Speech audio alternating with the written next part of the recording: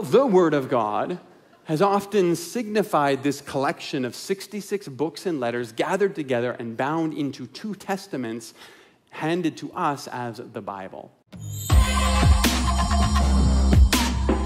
And there's good reason for that. The scriptures themselves talk about the Word of God a lot. Psalm 119 Your Word, O Lord, is a lamp for my feet, a light unto my path. Or maybe Isaiah 40 the grass withers and the flowers fail, but the word of our God endures forever. Even Jesus regularly talks about the word of God. He talks in Mark 7 about how we can nullify the word of God by weighing it down with heavy burdens we put on each other.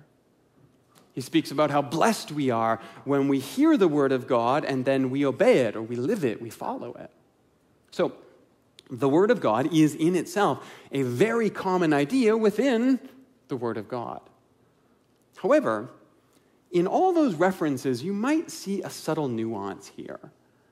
Because they are each of them in our Bible, and they all refer to the Word of God, and yet they all seem to be referring to something other than themselves.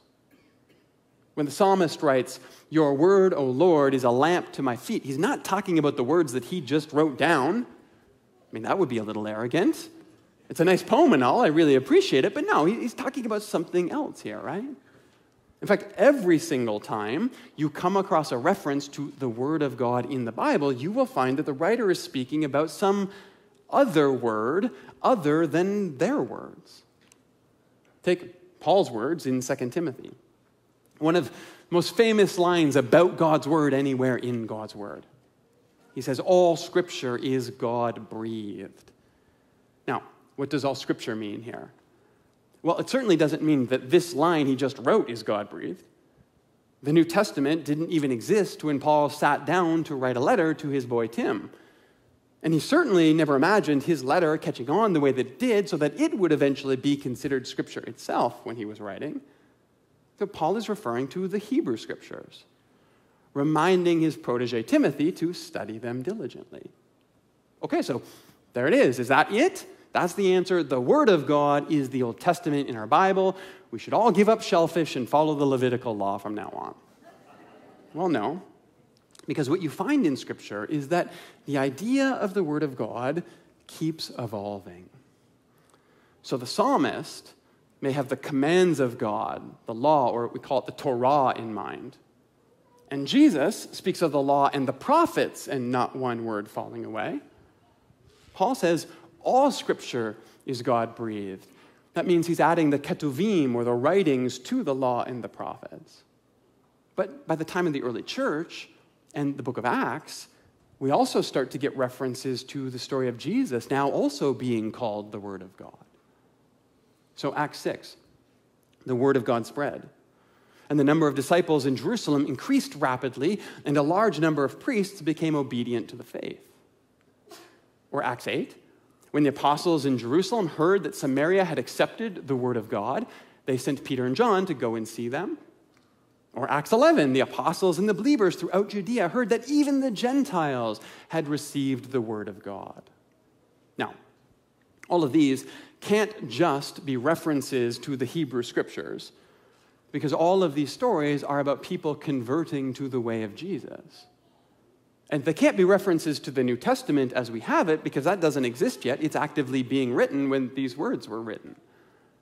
Instead, just like we see all through Scripture, this term, the Word of God, refers not just to some specific book on the shelf, but to the ongoing, unfolding story of God alive in the world around us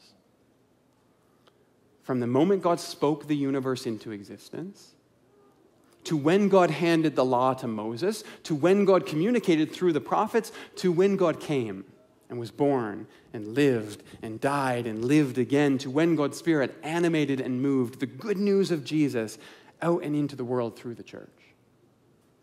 All of it, the entire Bible, is the story about the Word of God.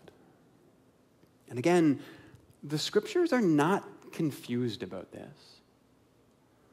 Paul says in Colossians that the image of the invisible God, the divine reality that has existed from before there was anything, that invisible truth is now present in history because, quote, all the fullness of deity lives and breathes in Jesus.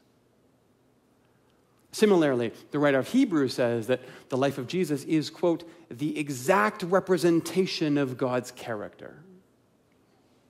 The image here is the idea of a coin that's stamped or pressed into metal. The writer is saying that looking at Jesus shows us exactly what God is like.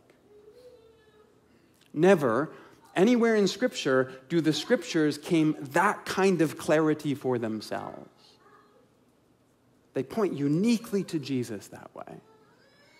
So, all through Scripture, you keep hearing this term, the Word of God, pointing at something else the larger story of God present and unfolding, but now in the light of Jesus.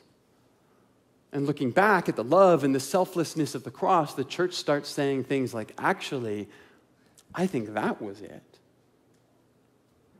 The divine has always been speaking. We can trust that God always will, but now God has said everything God needs to say.